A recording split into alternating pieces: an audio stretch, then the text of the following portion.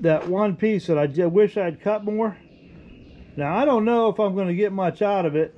Um, I'm going to try to come in right in here. I got to miss this obviously.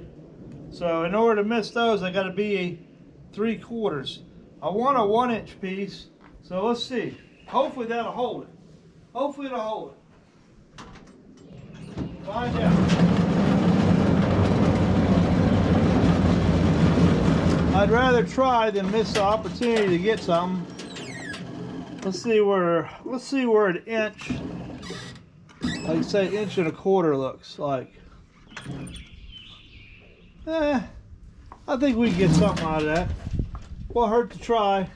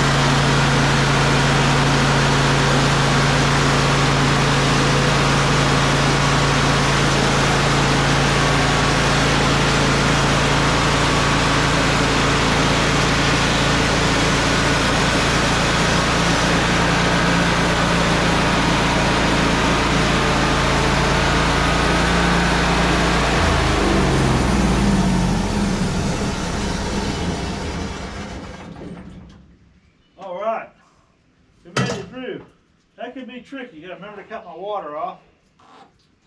Be tricky with a little thin board because I mean that clamp is just barely holding there. But sometimes it'll hold it, sometimes it won't. Now, this side's not gonna have much look to it. It's the other side. We only need one side to look pretty. But I hate to waste the opportunity to have a nice board. One inch thick board, I'll yield a three quarter. Uh, so, get that up above there. Let's see what we got. You ready? Are you ready? It's gonna be pretty. It's gonna be pretty. Let's flip it over. Let me uh, dust it off here and get it cleaned up a little bit. Fortunately, it's dried out a little bit on this side. I need a little water on it. So, it's dried out a bit. So, let's go ahead. We've gone through all this trouble. Can't really see it, it's dirty. Let's throw it in the back of the Kubota and run over to the water faucet and throw some water on it. All right, now we got over here to the barn. I got some water. Let's go ahead and do some water on it, see what we got. It's a miracle. It's amazing when it dries out, you can't see it well.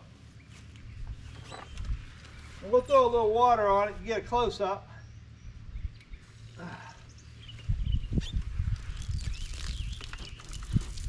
Good to get it washed off to begin with.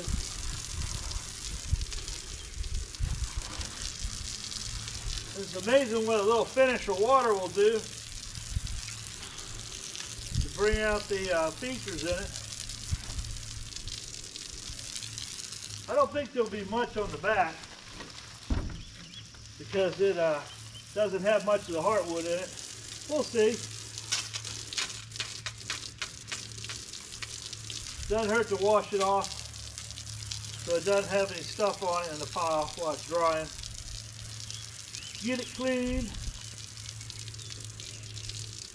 I said, eventually I start taking some of the bark off this stuff.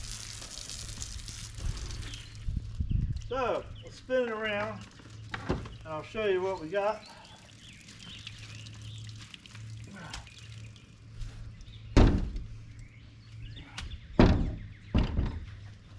I think it was worth it. Hate to throw that over the over in the wood pile somewhere. So uh, that little teeny piece of sliver that was left off made a nice one inch board like that. I mean the cherry is just most of our cherries is always beautiful stuff. Means we got dark cherry here. A little bit of wave there in it. So I think that was worth taking the extra 10 or 15 minutes to throw them back on the mill and seeing if we could get a board out of it. What do y'all think? You think it was worth the extra effort? Because these are some of my prettiest boards I do when I finish up uh, stuff. And they're number one seller when I sell stuff to other people. So, all right, there you go. There's a pretty one for you.